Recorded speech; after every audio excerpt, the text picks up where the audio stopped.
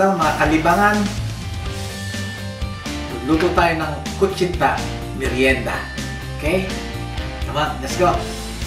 Itong gagawin natin, mga kalangga, mga kalibangan, napakadali. Pwedeng pang negosyo, pwedeng pang merienda, pwedeng pang giveaway, pamigay. Napakadali at nas, napakasarap. Okay? Halina kayo, samahan niyo ako. Let's go. Sinabing ah, madali, Ah, dahil ito lang ang ingredients natin at saka mura, mura lang. Mabubusog tayong lahat, pati ang ating buong pamilya. Ito, ito ang ah, all-purpose ah, flour.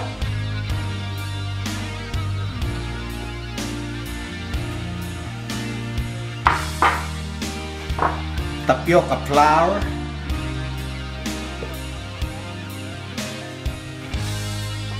Brown sugar,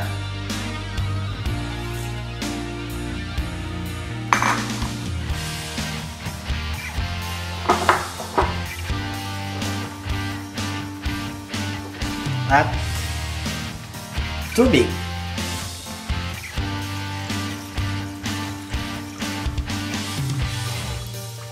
Let's start.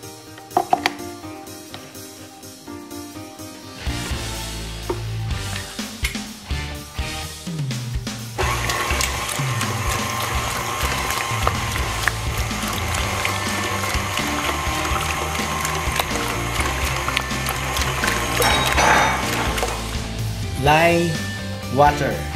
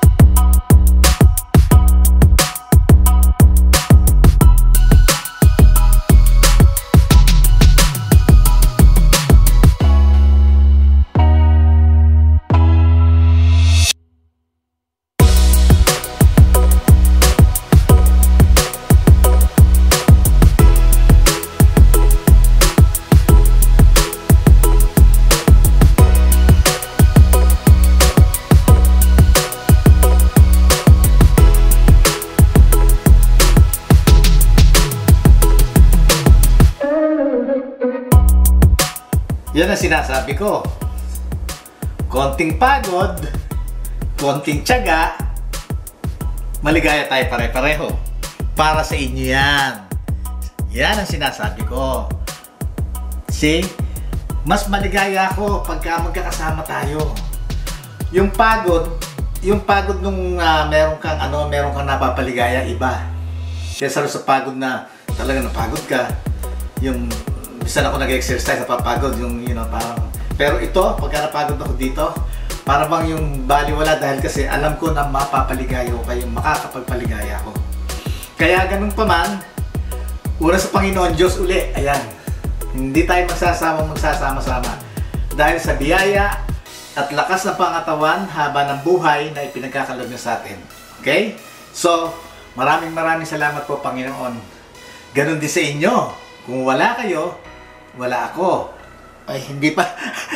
wala pala yung uniform ko, yung good looking, hindi pala. Oh, bad looking ako ngayon. So, maraming salamat. Sa susunod ulit, okay? Next time. Bye-bye!